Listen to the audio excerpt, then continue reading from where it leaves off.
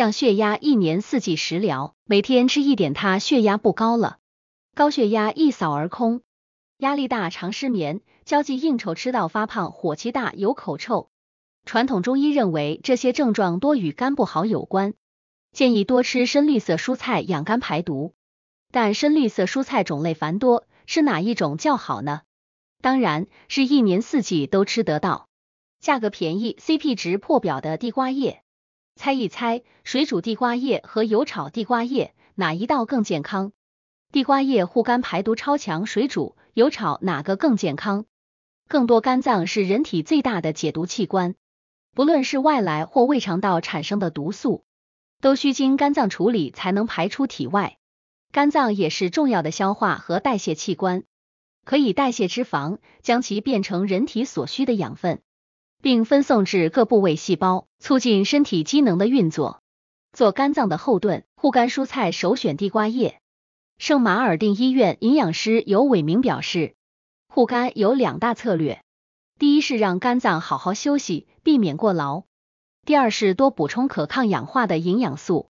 而相较于大多数蔬菜，地瓜叶不只是高纤，还拥有更多的抗氧化成分，特别是维生素 A、维生素 C 和多酚类植化素，是护肝排毒时不可或缺的国民好食材。地瓜叶不只是高纤，还拥有更多的抗氧化成分，是护肝排毒时不可或缺的国民好食材。更多维生素 A、维生素 C 和多酚类植化素等抗发炎成分，可以帮助肝脏去自由基、去除毒素。另外，地瓜叶中的膳食纤维可以促进肠道蠕动，帮助排便，缩短粪便在肠道停留的时间，进而达到减少有毒物质产生及排毒效果。特别的是，水溶性纤维还可以吸附油脂，帮助肝脏减少代谢的工作量。降低血液中胆固醇和三酸甘油脂。地瓜叶水煮后关火，加入一小匙植物油拌炒，再起锅，能保留更多营养素。更多水煮 vs 油炒地瓜叶怎么吃最好？至于地瓜叶该怎么煮较健康？有伟明营养师认为，关键在于加热时间和加热温度，大部分的营养素易受热破坏。曾有实验发现，地瓜叶加热超过三分钟，营养流失特别明显，因此建议烹煮时间控制在三分钟以内。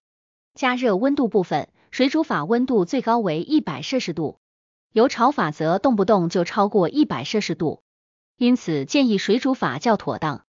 但煮的时候用水量不宜太多，以免营养素流到水中，除非连煮菜水也喝，否则等于白白浪费了营养素。特别需注意的是，维生素 A 和贝塔胡萝卜素都属于脂溶性维生素，建议地瓜叶水煮后关火，加入植物油拌炒，再起锅。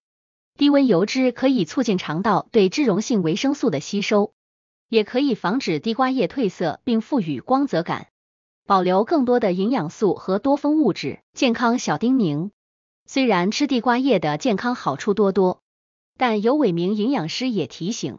有胃溃疡、容易腹泻等消化道问题的人不宜多吃，以免不容易被消化的非水溶性纤维会刺激肠胃。原来地瓜叶有这么多好处，分享出去让所有的人知道吧。